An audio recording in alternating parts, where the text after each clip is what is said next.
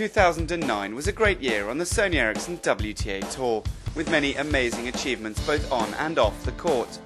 And to honour some of those great performances, the annual Sony Ericsson WTA Tour Player Awards were handed out in Miami on Wednesday by Chairman and CEO Stacey Allaster. I think we have a, a long year and it, it, goes by quickly, but we should take a moment to recognize just some great accomplishments of the ladies. I think they're very important to, uh, to thank the women and to also acknowledge their great efforts on and off the court. With most of the categories voted for by the media or fans, there was no surprise to see Serena Williams pick up a handful of awards. The world number one collecting Player of the Year for the second consecutive year as well as two doubles awards with her sister Venus, Doubles Team of the Year and Fans' Favourite Doubles Team of the Year. Um, it's cool. I um, I think this is the second time I got Player of the Year back to back. So first time I got Player of the Year back to back. So that was really cool, and hopefully I can do it again. when we know that the people who make it possible for us to have a job have um, voted us in the highest esteem is amazing.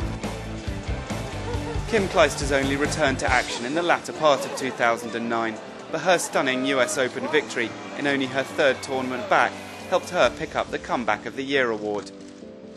And the Belgian was not done there, as she also picked up the Karen Krantzcke Sportsmanship Award for the seventh time, an honour voted for by her fellow players it means a lot. I think you know, especially the you know the, the one that gets voted by your by your colleagues. I think is the one that to me, um, you know, is means probably the most. Um, you know, obviously coming back is, is, is special, but um, but you know, coming you know coming here and receive the, the trophy um, that gets voted by the by the players uh, is something that to me um, really means means a lot.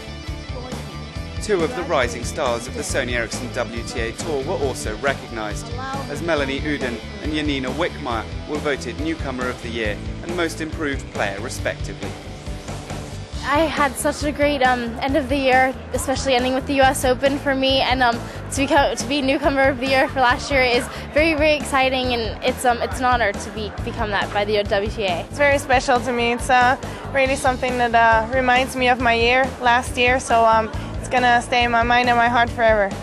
Double star Liezel Huber was also the winner of an award voted for by her fellow players, as she collected the Player Services Award her dedication both on and off the court.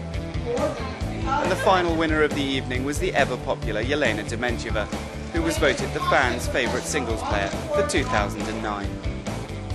It is very special, you know, I think all we do on the court is for the fans, so to be voted by the fans' favorite player, it's very special. And, you know, I just want to thank all of you for voting for me, and, uh, you know, it is very special.